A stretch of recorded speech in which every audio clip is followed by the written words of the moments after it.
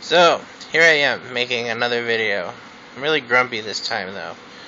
Like, just things set me off, and they're stupid things. Just something tiny that really doesn't affect me at all can put me into an instant bad mood where everything else after it pisses me off even more, no matter what it's bad or good or not. So, um,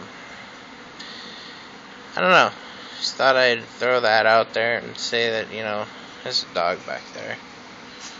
Some random weird things that don't make sense just really, really piss me off. And they're always so stupid, so maybe you could comment and say some stupid, silly things that uh, upset you, or, you know, Asperger's and things, or normal things, or.